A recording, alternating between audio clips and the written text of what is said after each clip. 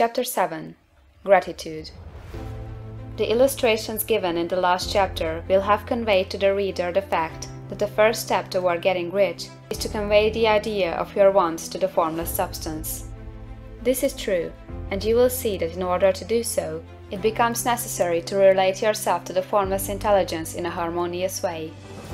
To secure this harmonious relation is a matter of such primary and vital importance that I shall give some space to its discussion here, and give you instructions which, if you will follow them, will be certain to bring you into perfect unity of mind with God.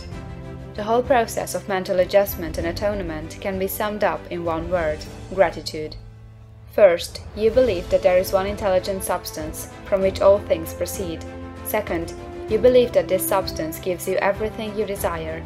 And third, you relate yourself to it by a feeling of deep and profound gratitude. Many people who order their lives rightly in all other ways are kept in poverty by their lack of gratitude.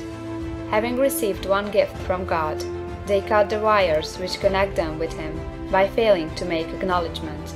It is easy to understand that the nearer we live to the source of wealth, the more wealth we shall receive.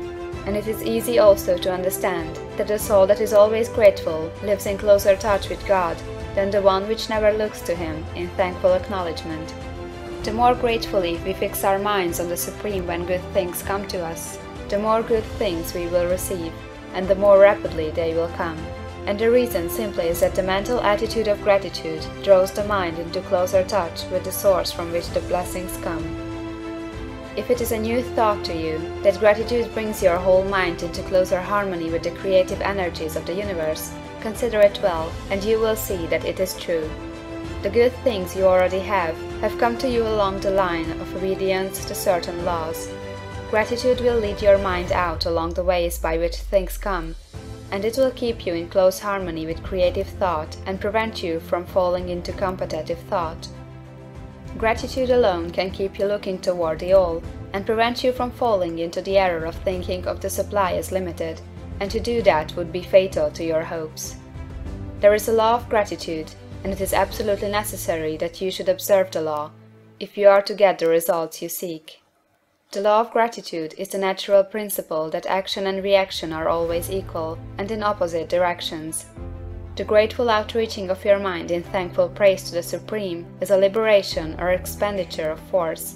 It cannot fail to reach that to which it addressed, and the reaction is an instantaneous movement towards you. Draw nigh unto God, and he will draw nigh unto you.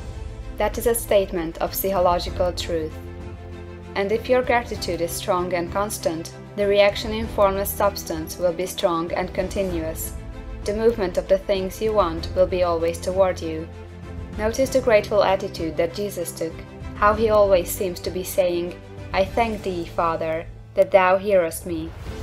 You cannot exercise much power without gratitude, for it is gratitude that keeps you connected with power.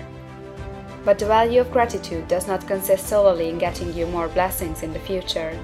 Without gratitude, you cannot long keep from dissatisfied thought regarding things as they are.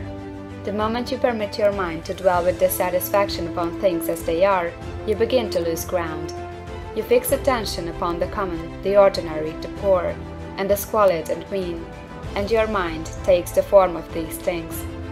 Then you will transmit these forms or mental images to the formless, and the common, the poor, the squalid, the mean will come to you. To permit your mind to dwell upon the inferior is to become inferior and to surround yourself with inferior things.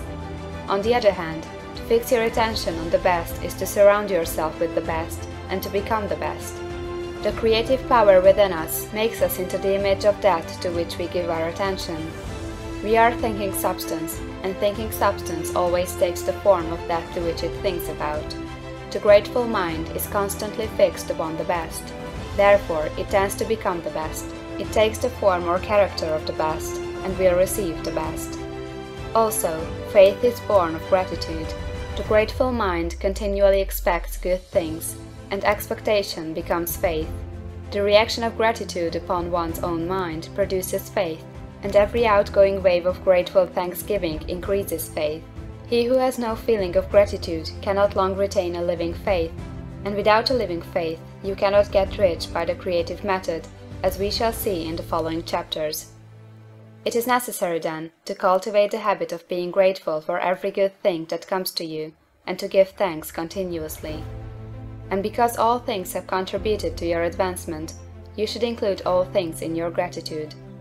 Do not waste time thinking or talking about the shortcomings or wrong actions of plutocrats or trust magnates. Their organization of the world has made your opportunity. All you get really comes to you because of them. Do not rage against corrupt politicians. If it were not for politicians, we should fall into anarchy, and your opportunity would be greatly lessened.